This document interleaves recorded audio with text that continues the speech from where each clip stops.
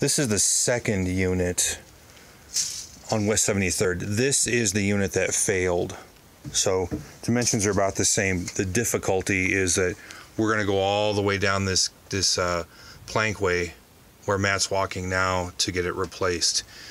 This line set is large. It's for I think a five ton. We probably have to replace it. Um, it's completely empty, so we can cut this one out right now with no problems. We're going to reuse this copper drain line on both units going down. Reuse the drain pan. The same thing with the unistrut and the vibration dampener pads underneath here. This is a B cabinet, three ton.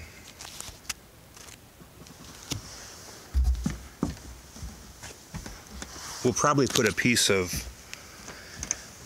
two by four across here so we don't step through. This is one of the only clumsy spots to get through. There are lights across the whole gangway here. I just can't seem to find them.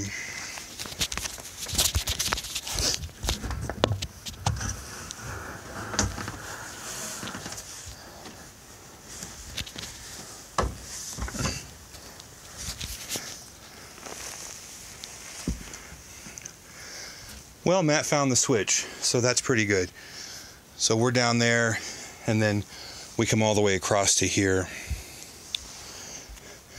These are all insulated rigid line.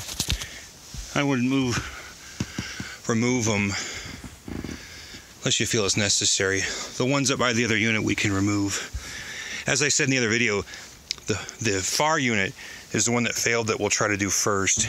Then we'll come back and do the one closer here second.